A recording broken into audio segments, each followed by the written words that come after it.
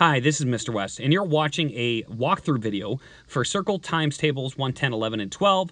This is sheet 3, and of course, this is from mathsalamanders.com. There'll be a link in the description below. Make sure to check out Math Salamanders for tons of great resources if you don't know about that website already. Now, let's get into this. This is sheet 3. What I like about this one is instead of going in order 1, 2, 3, 4, 5, 6, 7, 8, 9, 10, 11, 12, this one mixes it, mixes it up. So it goes 1, 4, 10, uh, so it makes it a little bit more difficult. Now, for 1, it's going to be the identity property of multiplication. So anything times 1 is just itself. So this one's pretty straightforward. We're just going to write in all these answers right away because just times 1 is itself. Okay, so moving on to some tougher ones. Let me change to green we have times 10. Now this one's to be very similar to times 1.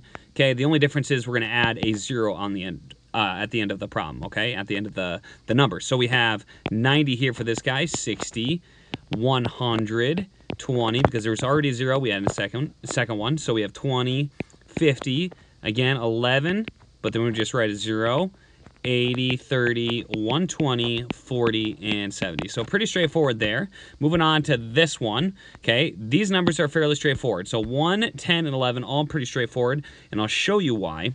Okay, so times 11, it's kind of like times 1.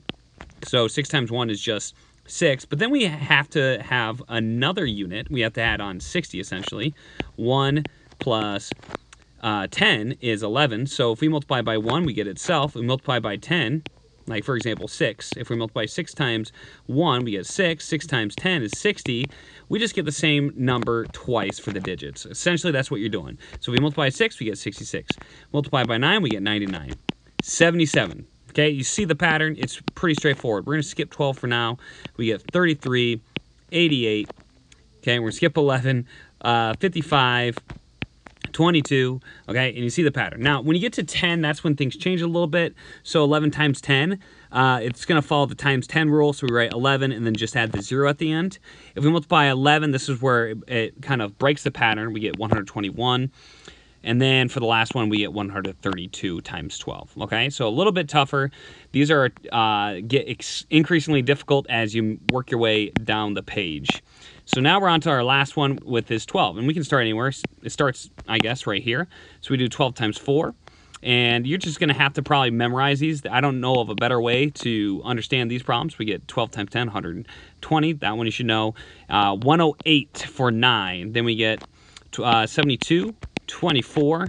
This one is 84. And one of the things you'll know is if you have 70 uh, times 6, both the tens digit and the ones digit are going to increase. Okay, so if you have 72 for um, times six, you know that it's got the seven's got to go up to eight, and the two has got to go up also. Okay, so that's something to keep in mind. We did this one on the other side, 132.